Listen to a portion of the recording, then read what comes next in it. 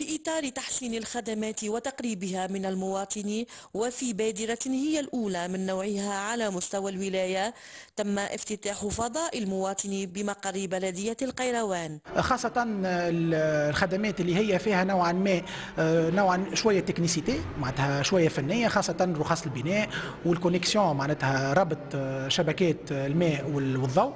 ونفذ المعلومة وكل شيء.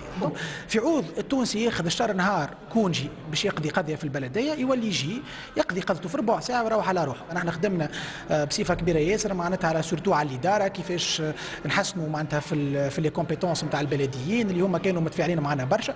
وخاصة كي دخلنا نحن des systèmes معناتها des systèmes de suivi en ligne معناتها اليوم المواطن ينجم يتابع الخدمات نتاعو عن بعد وخاصة زاد حتى ينجم ياخذ rendez-vous ويجي sous rendez-vous ولا ينجم ياخذ ال ticket en ligne. هذا الفضاء الجديد الذي شهد تعطلا في انطلاقه بسبب جائحة كورونا يهدف إلى مزيد تحسين العلاقة بين الإدارة والمواطن وتقديم الخدمات بطريقة أسرع وأنجع داخل شباك موحد.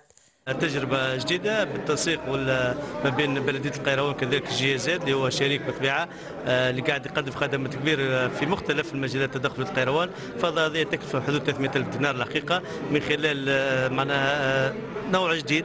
تقديم خدمات جديدة مباشرة للمواطنين. منه أنه يعمل نقلة نوعية في الخدمات اللي آه، مش تقدمها البلدية للمواطنين خاصة فيما يخص رخص البناء فيما يخص الأداءات البلدية وعديد الخدمات الأخرى باش تولي موحدة هنا. ينقص من الاتصال المباشر ما بين المواطن والإدارة وبالتالي تنقص التعطيلات وخاصة على مستوى الاجال الجانب الثاني يدخل في إطار الحوكمة لأنه الحوكمة المحلية تقتضي أنه يكون الخدمات على قدر المساواة لكل المواطنين تنقص شوية محسوبية. وفي انتظار تعميم هذه التجربة على باقي بلديات الجهة تظل رقمنة الخدمات البلدية مطلبا ملحا للمواطن الذي ما زال يتكبد مشاق التنقل لإتمام بعض الإجراءات